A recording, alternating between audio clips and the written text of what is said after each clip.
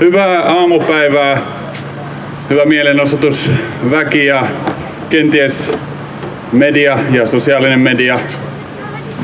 Mä olen Valtteri Aaltonen Suomen talousdemokratia rystä.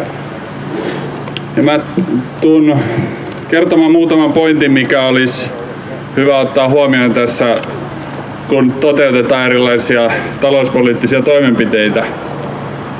No ensinnäkin on ihan selvää, että, että leikkaukset tai tämä leikkauspolitiikka, mitä Suomessa ja Euroopassa on harjoitettu, on tuhoisaa hyvin monelta kannalta. Ei vähintään sen takia, että niin kuin eilistenkin toimenpiteiden, ehdotettujen toimenpiteiden vaikutuksia arvioidesta, niin todettiin ostovoiman, eli sinun ja minun kyvyn käydä kaupassa ja niin edelleen, niin heikentyvän esimerkiksi noin 4 prosenttia. Kun meidän talouden suurin ongelma on kokonaiskysynnän puute, eli se, että yritykset joutuu tekemään äh, säästöjä, koska heidän tuotteilleen ei ole kysyntää juurikin sen takia, että ihmiset pelkäävät huomisen puolesta, että onko huomenna niin paljon rahaa kuin tänään. Oleellinen asia on se, että valtio ei ole kotitalous, niin kuin meidän hallitus luulee. Silloin kun muu yhteiskunta päättää säästää, ajattelee, että huomenna ei ole ehkä niin hyvä päivä kuin tänään, niin silloin valtion pitää puuttua peliin ja, ja luoda luottamusta muulle yhteiskunnalle, että kyllä huomennakin rahaa löytyy ä, taloudesta. Se, että me puhutaan leikkauksista tai elvytyksestä tai velasta, niin on aika epämääräistä. Se olennainen kysymys, mikä tässä pitäisi ottaa esiin, on kysyä, minkä takia meillä ei ole tarpeeksi rahaa? Minkä takia valtiolla ei ole tarpeeksi rahaa tavalliselle ihmiselle, hyvinvointivaltion ylläpitämiseen tai siihen, että meille tulee avuttomia ihmisiä karmeista oloista, esimerkiksi Syyriasta? Eikö inhimillisyys vaadi sitä, että meillä on rakenteita, jotka pystyy huolehtimaan kaikista huonoiten pärjäävistä ja luomaan sellaiset puitteet, jotka antaa tilaa kulttuurille ja tieteelle ja unelmoinnille paremmasta tulevaisuudesta. Miksi meillä ei ole tarpeeksi rahaa? Mitä rahaa on? Mistä rahaa syntyy? Nämä on ne kysymykset, mitä pitäisi esittää. Mulla on tässä läjän lappuja, jotka mä oon printannut Suomen Pankin sivuilta. Eli tämä rakennus, mikä meidän tässä, takana tässä on, on Suomen Pankki. Se ei ole niin pankki kuin se voisi olla, vaan enemminkin tämmöinen tiedotuslaitos ja alainen Euroopan keskuspankille – Mutta se, mitä he tekevät, niin se tekevät kyllä tämän ihan hyvin. Kertovat, miten asia on. Mitä raha on? Mä voin lukea tästä muutaman pätkän. Raha on velkaa. Jokainen euro, punta, kruunu, rupla, dollari tai jeni on tietysti jonkun varallisuutta, mutta samalla se on myös jonkun velkaa. Seteliä lompakossaan kantava kuluttaja tuskin kokee olevansa velkoja, mutta seteli on kuitenkin keskuspankin velkaa setelin haltijalle. Okei, tässä mennään, mennään vähän tällaisiin niin kuin, ö, käsitteisiin ja miten nämä nyt otetaan, mutta se pointti on siinä, että rahaa syntyy silloin, kun pankki lainaa asiakkaalleen ö, tietyn määrän velkaa.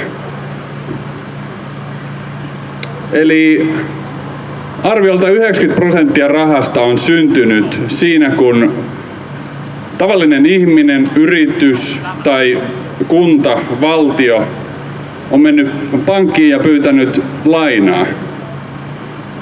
Pankki on sitten takaisinmaksukykyyn vedoten päättänyt sitten, että kuinka paljon tätä lainaa ollaan luotu. Ja nyt meillä setelien ja kolikoiden määrä taloudessa on aina, tai niin kuin raha, kokonaisrahamäärästä on vain 10 prosenttia. Eli meillä on yksityinen intressi, joka luo rahaa meidän talouteen. Mitä me voidaan tästä päätellä?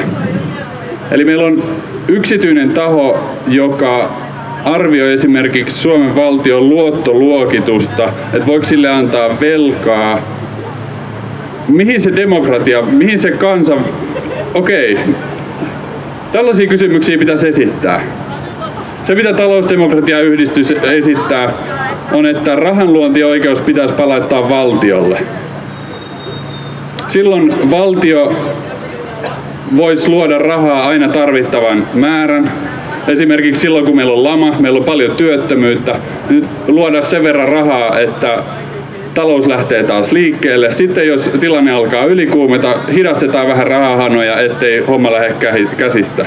Silloin kun tässä on yksityinen intressi tässä rahan luonnissa niin kuin nyt on, niin homma menee överiksi hyvinkin konkreettisella tavalla. Esimerkiksi tämä 2008 alkanut finanssikriisi oli juurikin siitä, että meillä on yksityinen äh, rahanluonti, velka, velkarahanluonti äh, intressi, joka innostui, että hei, nythän jengi haluaa todella paljon rahaa, eli velkaa, niin tehdään niille sitä tosi paljon. Ja sitten kun, rahaa, tai sitten kun velkaa on aivan liikaa, niin kupla puhkeaa ja kaikki ihmettelee, että mitä ihmettä tässä tapahtuu. Olennaista on se, että meillä on suuri epä, ää, epäymmärrys siitä, että miten, mitä raha on tai miten se vaikuttaa siihen, miten, miten talous toimii. Jokaisen pitää ottaa itse selvää ja, ja selvittää myös ympärillä oleville ihmisille, miten tämä homma toimii, mutta myös päättäjille. Esimerkiksi Iso-Britannian tota, vastaava järjestö kuin talousdemokratia Positive Money, tämä on siis kansainvälinen äh, liike, mitä, missä mekin ollaan, niin teki omille kansanedustajille kyselyn, jossa 70 prosenttia parlamentin jäsenistä ei todellakaan tiennyt, miten homma toimii. Ainoastaan 10 prosenttia ties, miten tämä homma toimii. Mutta se ongelmahan löytyykin siitä, että meillä on oppikirjoissa vääriä käsityksiä. Siellä puhutaan rahakerroinmalleista ja tämä on taloustieteessä vasta niin kuin aluillaan tämä kritiikki ja pohdinta, että miten tämä todellisuudessa on. Mutta taloustiede ei, vaikka se vaikuttaa siltä, että talous ja taloustiede onkin semmoinen pyhä asia, johon ainoastaan niin kuin tietyt ihmiset, joilla on niin kuin suuri kokemus ja ymmärrys, voi ottaa kantaa. Niin todellisuudessa tämä tulisi olla kaikkien asia.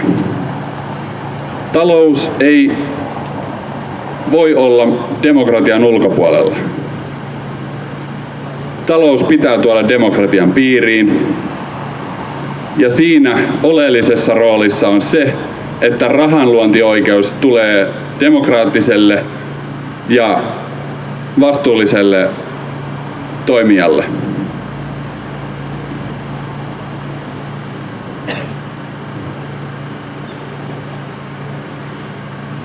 Mä voin laittaa näitä jakoon, niin ottakaa asiasta selvää, kertokaa tutuille, jakakaa meidän Facebook-päivityksiä. Me, ollaan silloin tällöin viime viikolla oltiin Helsingin Sanomissa, toi meidän Ville Iivarinen oli Helsingin Sanomien ihmiset palstalla, hän julkaisee kirjan. Tässä, tässä on paljon mihin voi liittyä mukaan.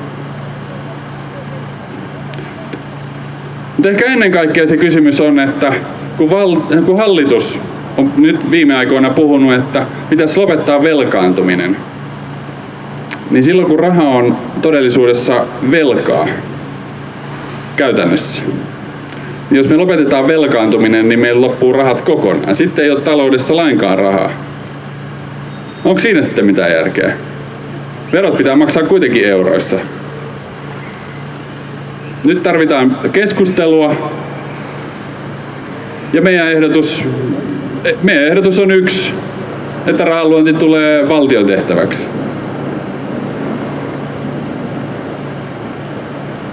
Mutta tämä pitää ottaa pöydälle tämä kysymys.